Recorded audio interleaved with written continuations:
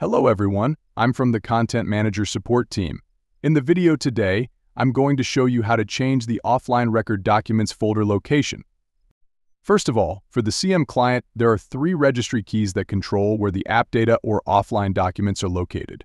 Trim App data, Trim Local App data, and Top The Trim App data key controls the location of the Astora client transfer folder, and this stores the documents for transferring asynchronously. The Trim Local App data key controls the location of the client document cache a store client cache folder of each dataset, as well as the log and temp data folders.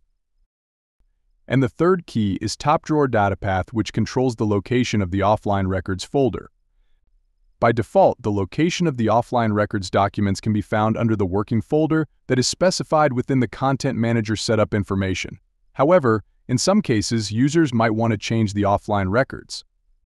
Firstly, in Registry Editor, go to Computer HKEY underscore current underscore user software microfocus content manager and find the data paths key value.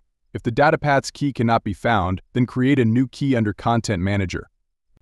Then click on the data paths key to locate the top drawer data path key. You can create top drawer data path with string value if it's not available.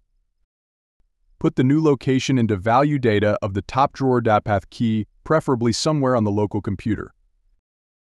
Finally, restart the Content Manager client to complete all changes. After restarting the Content Manager client, you can now check the new offline records document location from the working folder within the Content Manager setup information.